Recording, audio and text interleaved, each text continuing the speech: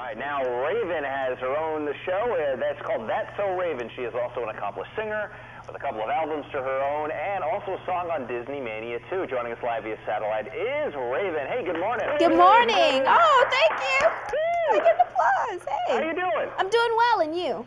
Uh, we're huge fans of your show. Every day uh, in the Allen household, we have That So Raven on the air, and uh, congratulations on the success of it. Oh, thank you very much. I'm glad you guys are watching. Having grown up in the business, do you ever have time just to be a, a normal young person, or are you always an industry young person? I, I was born into the industry. Uh, this is normal for me. Um, I've, I've been to public school and I've done that, and that's odd to me. I'm there and I'm trying to fit in. But Yeah, right. in this industry, this is normal to me. This is where I'm supposed to be. What kind of creative input do you have with that show, Raven? Because it seems pretty organic. It seems like the person we see in that show is not a far cry from who you are. Uh, she's a lot. She's a lot more hyper than I am, actually. Um, she's a little bit hyper, just a little bit compared to me. Um, you know, the people on the show, the writers and the producers, they trust um, us to, uh, you know, put our own little touches on certain things. They know that since we're teenagers and we have to play the character, that we're gonna, you know, treat it Right. right and you know, do the, do the best that we can. So we get a little bit, and we we get a lot, depending on what it is. And if you look at the people that have come out of this uh, sort of uh, d- the Disney generation that are largely behind uh, That's So Raven, look at your Lizzie McGuire turning Hilary Duff into a big star. If you go way back in the day, Justin Timberlake, all of these people came out of this environment, and they're treating you good too, I guess, huh? Disney has a wonderful synergy. They help you with everything. If you want to be, you know, in the spotlight and famous, definitely Disney's the place to go. What kind of stuff's in this new CD that's coming out? um, Disneymania 2 is a fabulous CD with a lot of different um, Disney stars that you know and, you know, um, singing stars as well, singing songs from Disney movies that you know and uh, putting our own little twist on it. And I'm singing True to Your Heart, sung by 98 Degrees and Stevie Wonder from the Mulan soundtrack. Oh, very nice. And so I, I love the stuff that you guys do from Lion King. And uh, what other Disney movies are represented? Um, there's a lot of different Disney movies represented. Actually, I only have one song on the CD, but I res- I did some songs for other Disney Channel, uh, not Disney Channel, but Disney movies like Lion King One and a Half, Lion King Special Edition DVD, Superstition.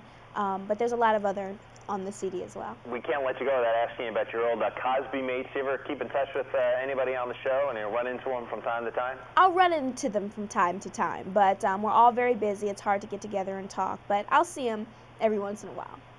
Okay, I got to ask you about this. Uh, you were on a game show recently. Do you remember which game show you were on? The celebrity edition of what? Do we have to talk about that? I was I was on the celebrity edition of um, I don't I don't remember. I don't, Come on. we saw it. yeah, I know. I forgot. I blocked it out of my memory. I was so scared. I forgot what it's called though. Oh, the weakest link. Right, you're on the weakest link, and we're the weakest link station. And so I, I had to bring this up because on that, uh, and you know what? We learn from our mistakes. Am I right, everybody? Yes. We all right? make mistakes, Especially right? on this show. That's what I'm saying. So I want you to prove that you've learned from your mistake. What does PO mean in post office box? You just gave me the You just you answer. gave the answer. All right. Post office box. My teacher got on my butt about those questions. She was like, "I can't believe you." Well, the, the most obvious question uh, and questions and the most obvious answers c- sometimes can be the most difficult because you're thinking of so many things at the same time. Exactly, and I was, and I had the question about the beehive before, and I was surprised that I got that answer. So I was, you know, my mind was boggled. Right, right, right. Uh, hey, listen, you know, it's one, it's one of those things where you just you, you have those brain cramps every once in a while. We all get them.